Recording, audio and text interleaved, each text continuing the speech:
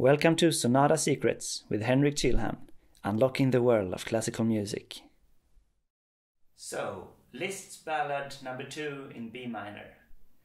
Chopin wrote four ballads that are pillar works in the piano repertoire. But Liszt's contribution to the genre isn't perhaps as much played, but this is truly a major work of art.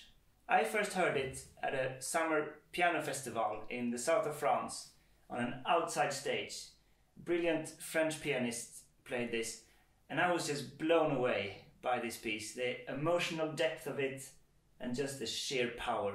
So I started learning it the next semester.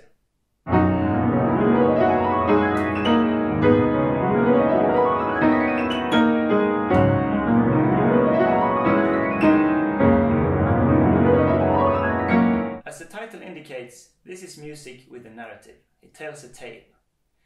There are two ideas of what that tale is that inspired Liszt to write this. And I'm going to go with a version of the Greek myth of Hero and Leander. And the pianist Claudio Arrau, he believes in this and he has it from his teacher Martin Krause, who was a pupil of Liszt himself, that this is the case.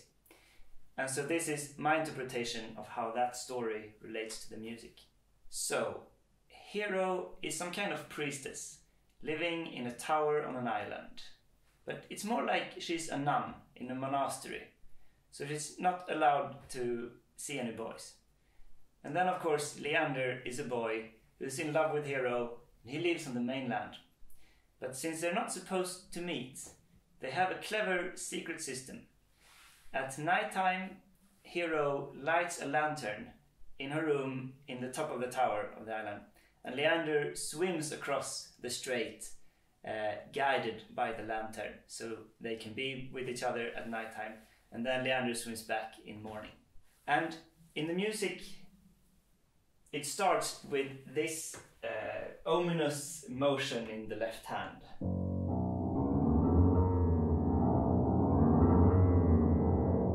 It's a pretty good representation of waves in the sea.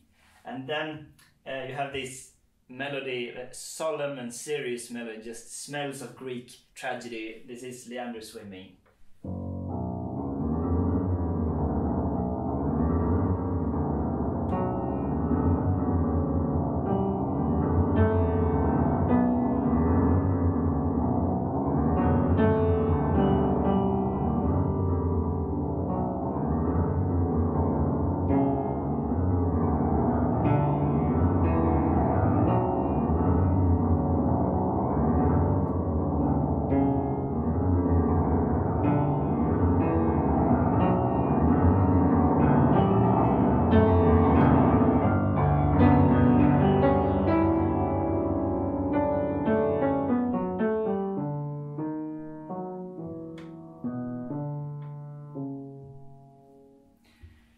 Last bit is a hint of the passion that's about to come later on in the piece. This. Uh,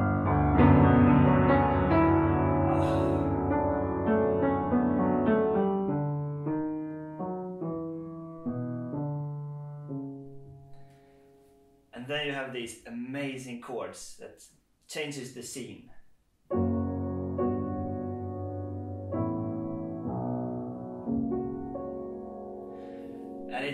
it's so amazing when they just hit you and it's nothing you can do just total surrendering to the tragedy of the tale. Uh, they come again higher up.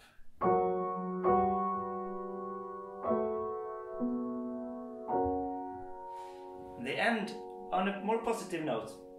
And now what follows is uh, a complete contrast to the serious uh, tragic theme before so this is like hero's theme or the love theme of when they are together. It's full of uh, longing and yearning chords.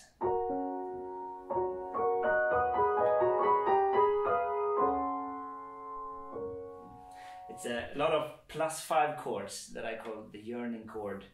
They're all the time uh, moving forward and longing for the next resolution. Uh, so the theme comes again lower now.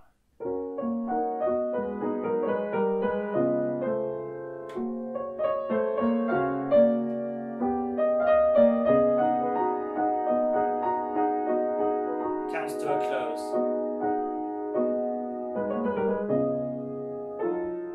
Final longing chord and a resolution.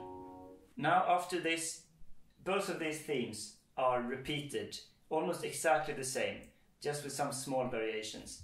And one difference uh, it's one note lower.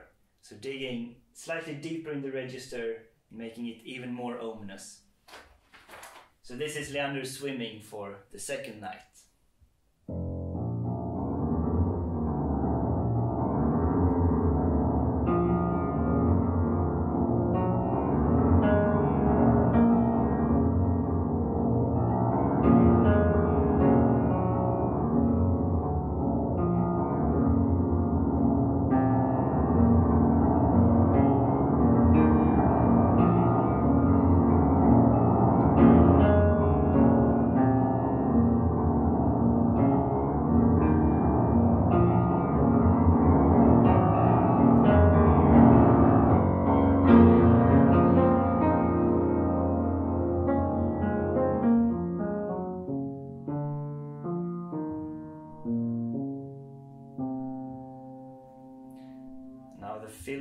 Chords.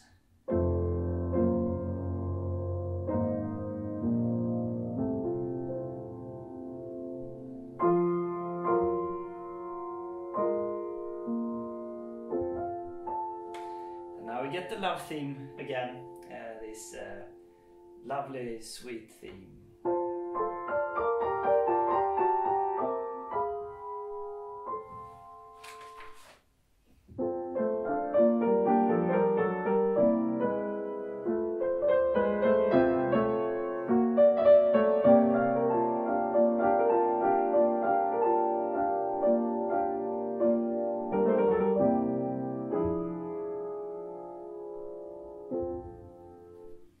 In the story, Leander does this swimming for several nights.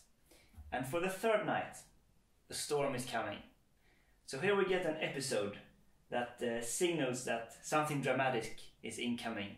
So it's some kind of uh, crazy march starting here.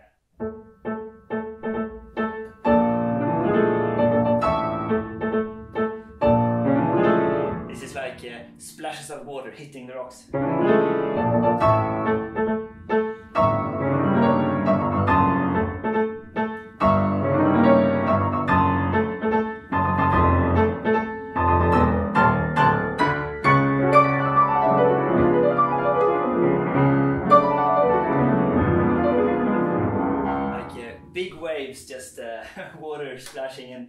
But then we come down to uh, this deep ominous register again.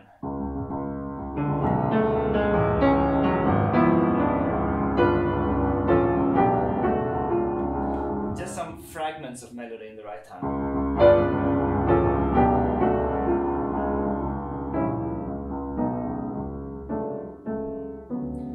Coming down and cooling off. Now here we're going to feel how the wind increases and the storm is coming. And a lot of octaves in the hands. Uh, and it's gonna go on for a while, so just enjoy the roller coaster of. This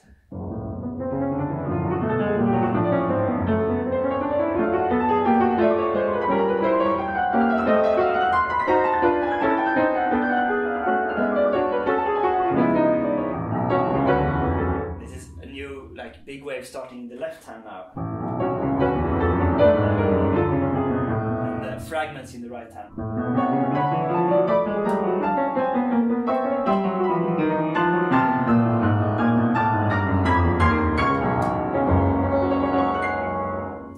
And here we have a return of the tragic theme with uh, uh, really big waves, uh, these cascades in the right hand.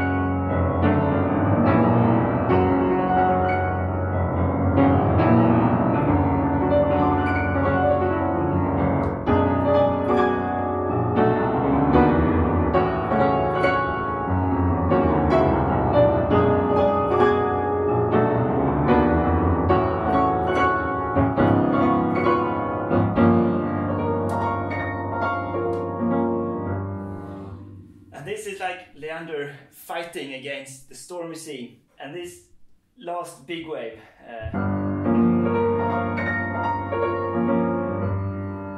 he really has to struggle.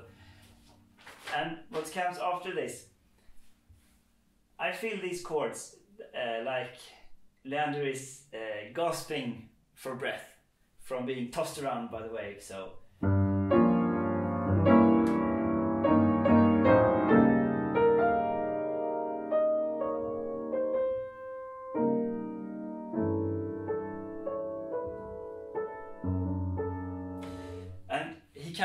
It. And here we have a few bars of a new theme that I like to call the narrator's theme. Because I feel like it's like a narrator comes in uh, commenting about what's happening in the story. Uh, it's a bit like a cliffhanger. Like, uh, does Leander make it through the storm in the water? Is he able to uh, meet his love once again? Um,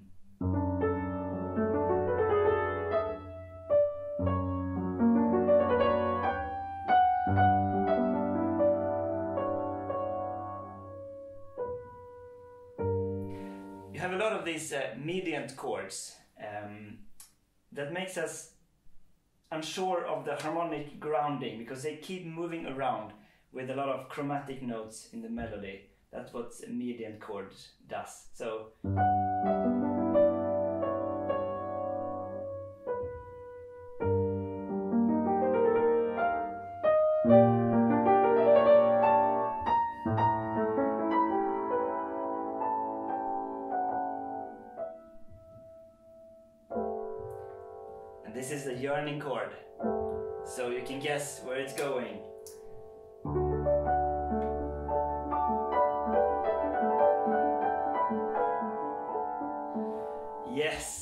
Made it, so he's he can meet Hero again and they can be together. Because this is the- the love theme that comes again in gorgeous D major.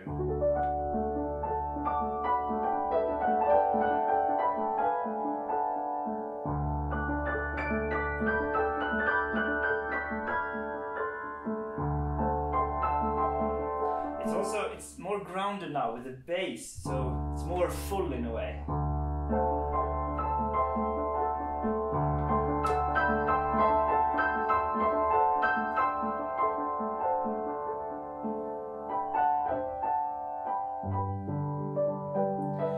Get it one more time just for the sake of it in G major.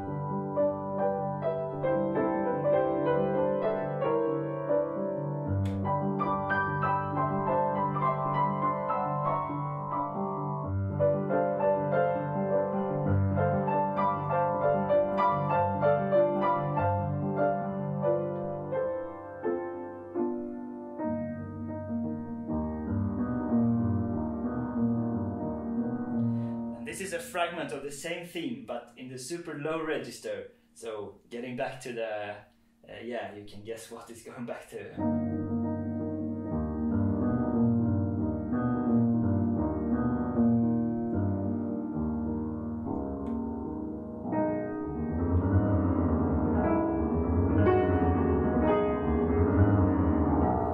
Oh yes, it's swimming time again. so this is now the fourth night, and Leander starts swimming. It's it's pretty uh, still and cool when he- he starts.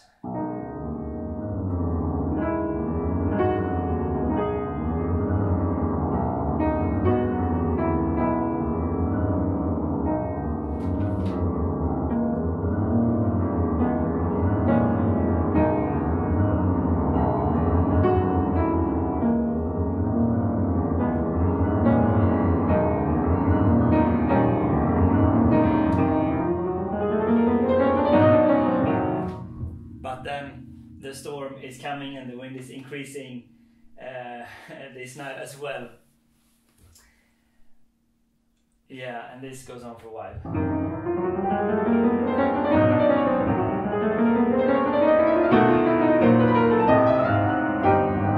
Now, uh, this is the theme. Um, tempest also means literally stormy.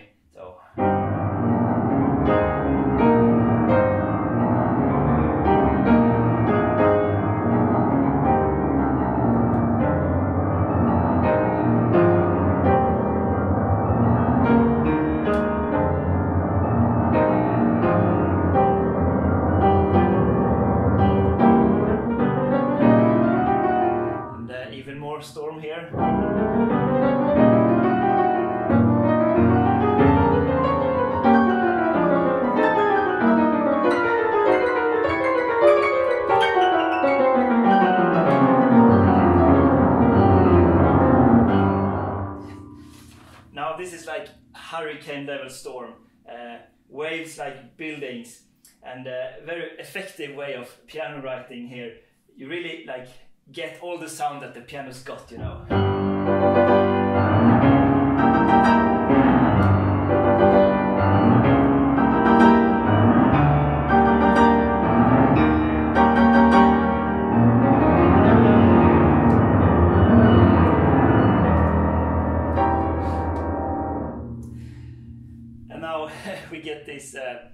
Fragments again that I said was gasping for breath before. And now in the story, spoiler alert, uh, the winds and the storm they blow out the lantern that Hero has lit in the tower. So with nothing to guide him, Leander cannot make it and perishes in the sea. Typical tragic Greek drama. And the moral is probably that you're not supposed to cheat the rules of being a nun and stuff. Anyway, my interpretation of the story in the music here is that this last big tsunami wave is the wave that kills Leander. Uh, so from here on, he's dead. But it's a, a lot of the piece is still left, so it's just it's the aftermath, but it's very important aftermath. Anyway, these fragments, if they are gasping for breath or not, you still need some time to come down from the extreme intensity of the storm. Uh, and I keep the pedal here with this wave when I play the first fragment.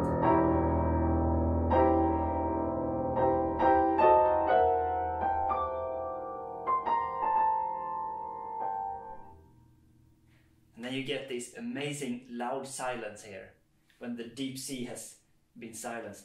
So then you get it a second time.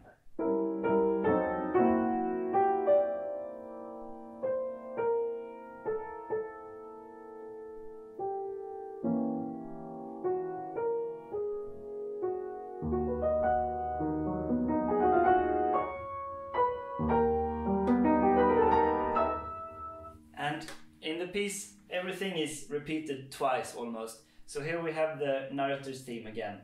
And I really feel it's it's a new character that comes in. It's been cooling off for a while, and then suddenly you have this appassionato, passionate, uh, really like an appearance of a new character that weighs in.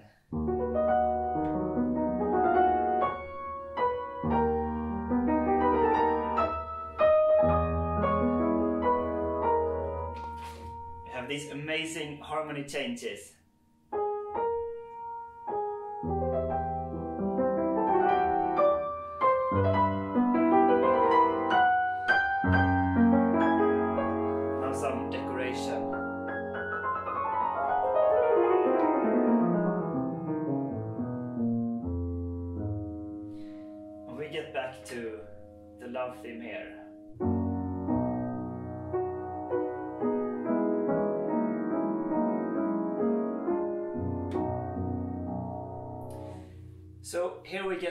Theme again for the fourth time of the piece, but it's slightly different this time. Uh, Liszt specifies that you're supposed to play it alternating with the hand with the chords like this.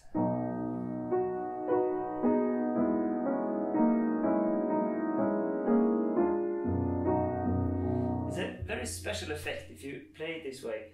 Dolce placido means sweetly and placid, and you can even hear it as uh, funeral bells for Leander, has perished in the sea, if you want.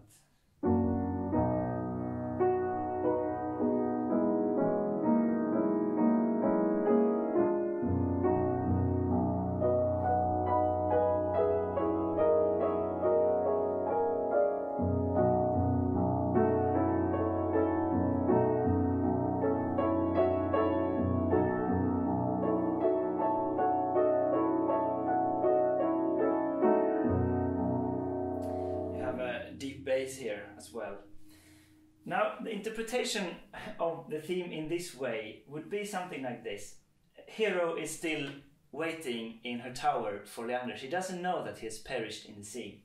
But we know because it has been narrated to us.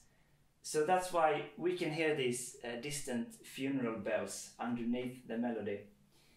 So it's a complex double effect here that makes it really powerful. So then, after the first time,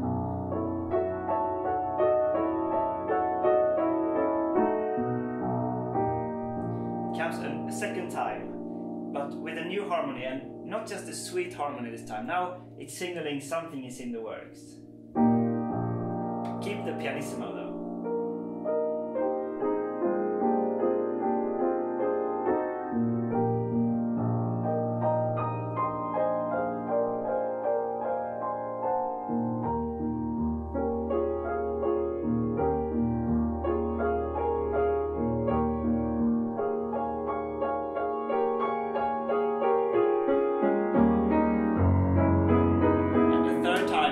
It's really something, something. This is such a great place.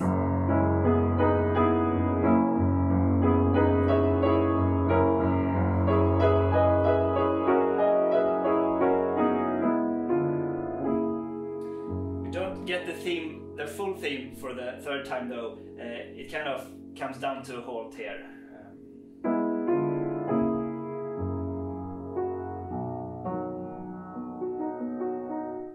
Is another of my favorite places in the piece. Uh, we still have some aftermath to do. It's five pages left of the piece. The key is now B major, so a flip from B minor as when we began. And here a new theme is introduced. It's like a tenor or baritone aria, a heroic and epic uh, solo aria in an opera uh, like at the most important moment in the plot, where he's just stating it as it is, and you just feel the epicness of the whole opera. Um, so this is the aria.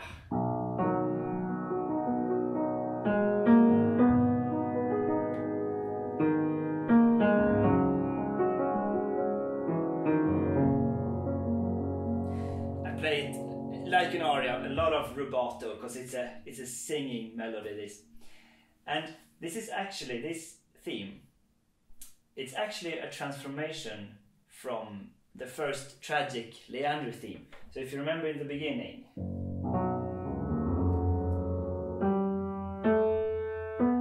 This is the th- theme. And now listen to the tenor theme.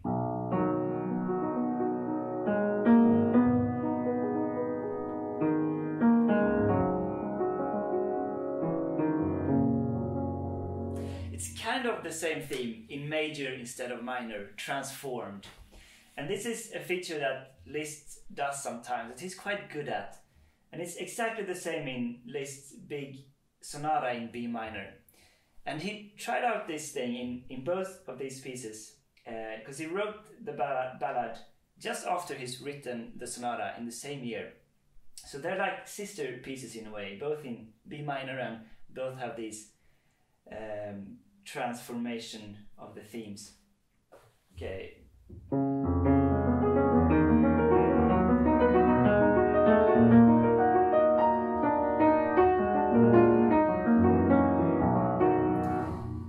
And now this theme is gonna come four times as well. One for each night that uh, Leander and Hero was together, even though the fourth night didn't happen. So you can see it as like the spirit of Leander or the memory of the times or the power of love that lives on after death or something. And of course, since it's Liszt music, it's gonna get more intense for each time.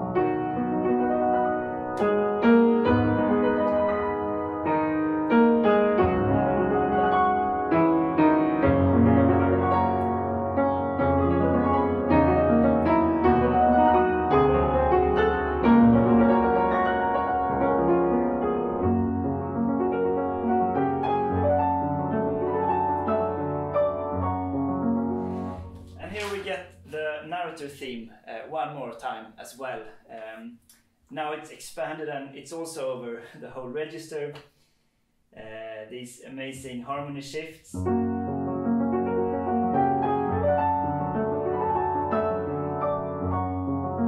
very like a precursor to Wagner almost, Wagnerian chords.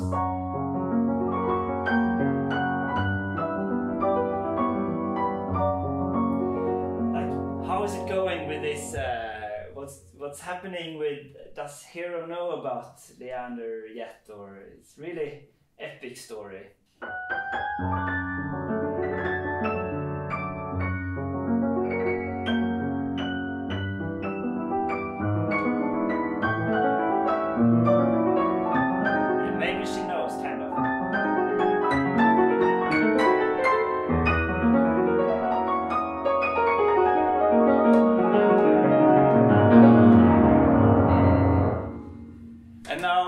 We've arrived at the, the epic theme now for the third time. It's uh, more intense, grandioso means grand and majestic, and we also have a return of the waves in the bass.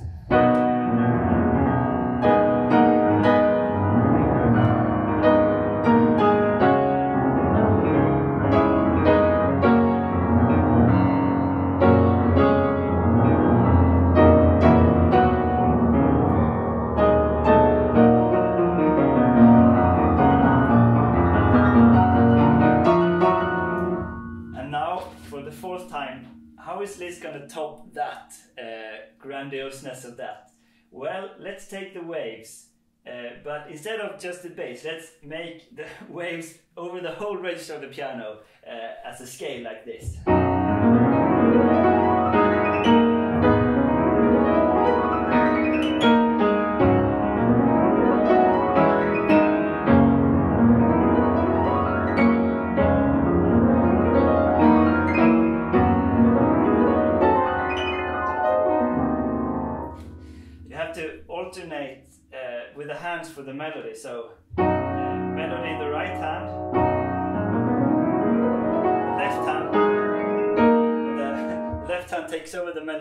Right hand continues with the scale.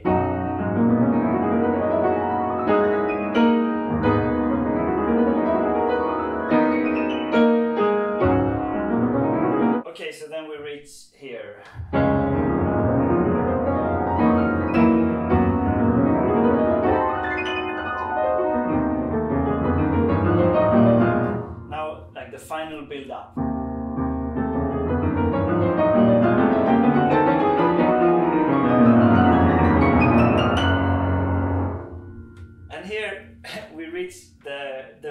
End of the piece, uh, like the final final run. And Liszt wrote two endings. Uh, there's two endings to this piece. And the first one, he just continued with this powerful, bombastic piano playing. But then he revised the ending, and the second revised ending is generally accepted to be the proper ending, and everyone plays it.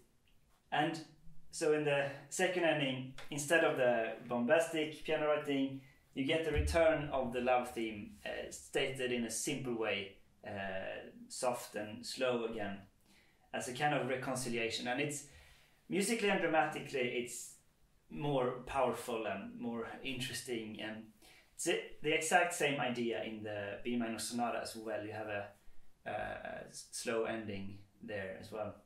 So after all this energy, you have three fragments to to cool down and transform all the energy.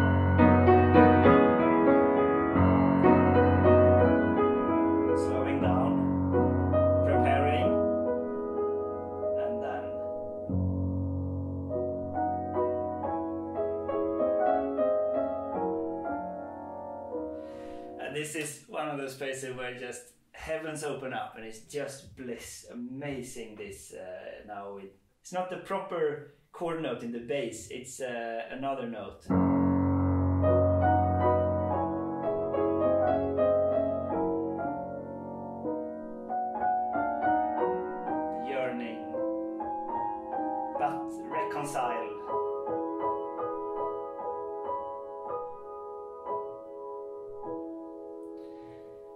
And then just an echo of the last chords down here.